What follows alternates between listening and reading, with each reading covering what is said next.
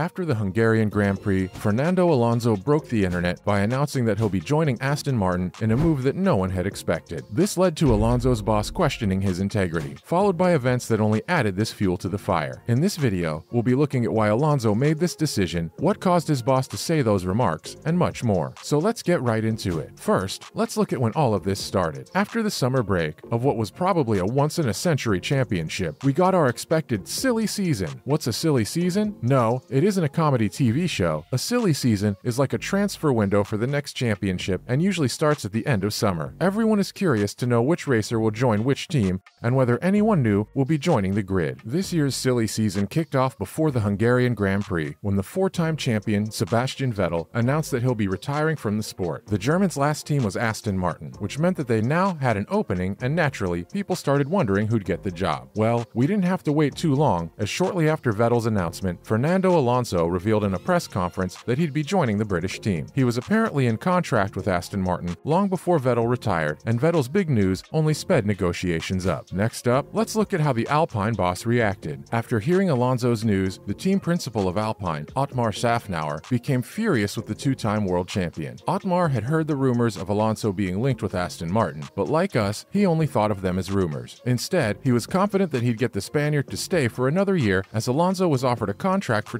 2023 and he also had the choice to extend it for another year. Otmar also revealed that he asked Alonso about the rumors, to which the racer replied that he hadn't signed anything. Well, that isn't all that reassuring, and it probably made Otmar suspicious, right? Nope. The team principal, like the rest of us, only found out about the internet breaking news at the press conference. He was completely shocked and even felt betrayed, making him question Alonso's integrity and character. In an interview with El Confidencial, Otmar said that he considered himself a man of integrity and that if he was ever committed to something, he made sure that he fulfilled his commitment. He then said that this was his way of life, and he now knew that not everyone is like him. Seems a bit full of himself, no? This obviously is referring to the deal that Alpine had offered Alonso and how he didn't mention that he was negotiating a contract. Yeah, it looks like Otmar really took the news to heart. Moving on, why did Alonso leave for Aston Martin? Fernando Alonso is one of the greatest to grace the F1. He's won two championships and has 98 podiums. With Alpine, however, the 41 year old didn't get the success he was hoping for, and to him,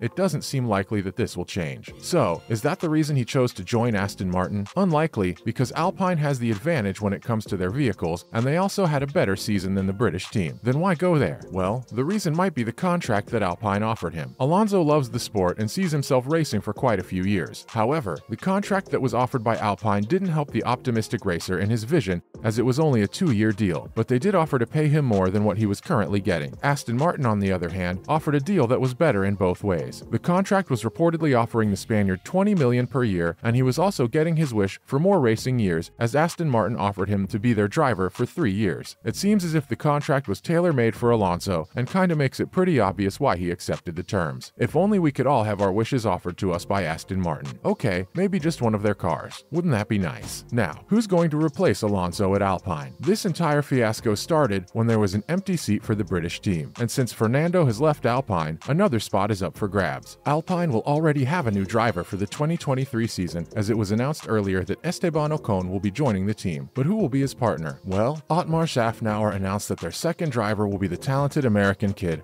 Oscar Piastri. However, Oscar actually later denied the news and, well, made things a bit more difficult for the French team, as if they needed this. But we'll get into this later. For now, the question still stands of who's going to fill in Alonso's boots. The current McLaren star, Daniel Ricciardo, is most likely going to get the role, given that Otmar doesn't manage to keep Oscar. If the deal goes ahead, the Australian will be making a return to Renault powered cars. But as of now, the Alpine boss refused to give any hint about Ricciardo, and we're not sure if that's a good sign for the Aussie or not. Now, the second likely candidate is Pierre Gasly. Gasly used to race for Red Bull till 2019 and has since then continued to perform, making him pretty desirable for Alpine. But he's probably not going to get the move because he recently signed an extension with AlphaTauri, and there was no mention of a release clause in it. So yeah, chances aren't looking good for him.